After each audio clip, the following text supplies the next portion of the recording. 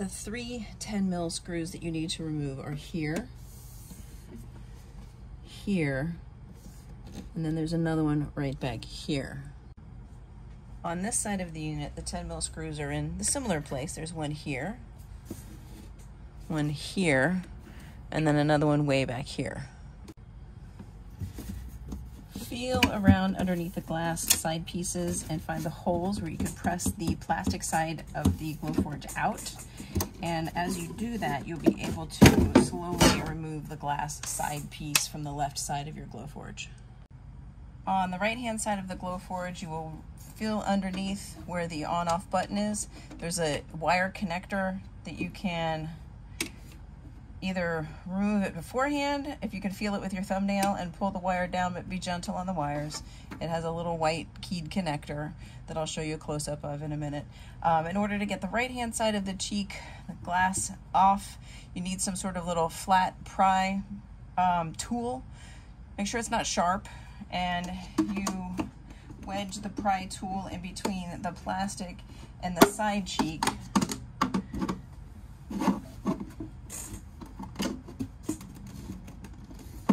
pull the side cheek plastic away from the glass. There's a couple of videos that show how to do it if this one isn't um, floating your boat because this is a little tricky to get the right side off as compared to the left side.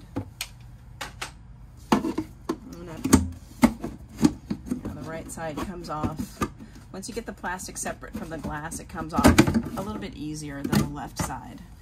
And the on-off button, you can see has the connector here and your wire connects into the on-off button. It can only go in one way. So if it's not going in smoothly, don't force it. It is a keyed connector. This is what it looks like. And you can just let that off to the side. This is the red connector end that you will need to remove from the end of your laser tube in order to get to the wire that is connected to this end of the laser. This is the wire that powers the laser. Make sure that your machine is unplugged.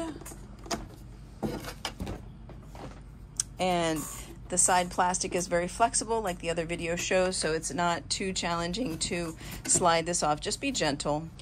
As you can see here, I still have my Christmas curling wire. I tied it off onto the coolant line on this side so that I still have that little piece of white twine running in the channel underneath the Glowforge in case I ever want to or need to replace this red wire and rerun it through the original space underneath the glass laser. I still have this wire excuse me, I still have this piece of twine running through the channel. It's tied off on this side. And then, let me move the camera just a little bit. You can see it is still tied off over here on the coolant line. It's that little piece of white strand right there. So we are using what I'm calling the aluminum hoops. I don't know if that's the right term, but that's what I'm calling these pieces. These pieces covering the glass laser tube, we are using those for cable management to make sure that our cable stays nice and neat and up away from these roller wheels because you do not want your red wire to come in contact with these gantry wheels. It's probably not the right term either, but it'll work. Um, over here, you can see our connector in the middle and you can see our gantry wheel down here. Our red wire is nice and away from this wire. We have run it up through the, the factory hole in this aluminum piece. And I'm gonna move the camera closer so you can see what I'm referring to. Okay, so to get up close and personal, this is where we have run the red wire through. The red wire comes from underneath here and typically goes in the channel underneath the glass tube, but there is a space here in this aluminum tray where you can fit the red wire and this red this tray this aluminum piece here has kind of I wouldn't call it a sharp edge but it's definitely a 90 degree edge so we put two pieces of heat shrink tubing to protect the wire where it passes through this aluminum tray opening. So it's protected there. And then again, we use the aluminum cheek, I don't know what to call it, hoop, the aluminum hoop um, for cable management.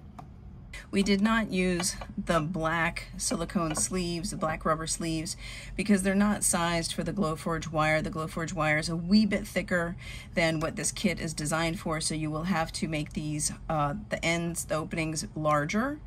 And as you reassemble your wire, assuming that your split's in the middle, like ours was, like our short was in the middle, you will want to run the wire through over here through the metal hoop and then as you've cut your wire and you're getting ready to put it all together, make sure that you put this with the smaller end to the outside and before you start to tin your wire and connect things on it. Otherwise, you're going to have to take it apart and put it back together again.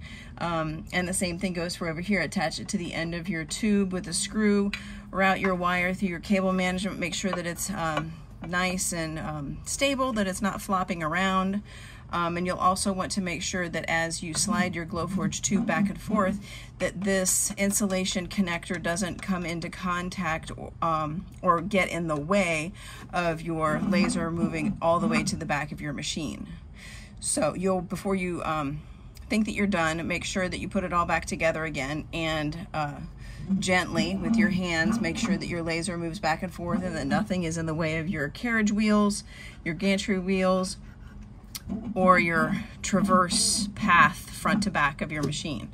So before you call it done, make sure that your Glowforge runs all the way to the back of your machine and that your splice housing isn't getting in the way or um, in any way interfering with the traveling path of your laser front to back.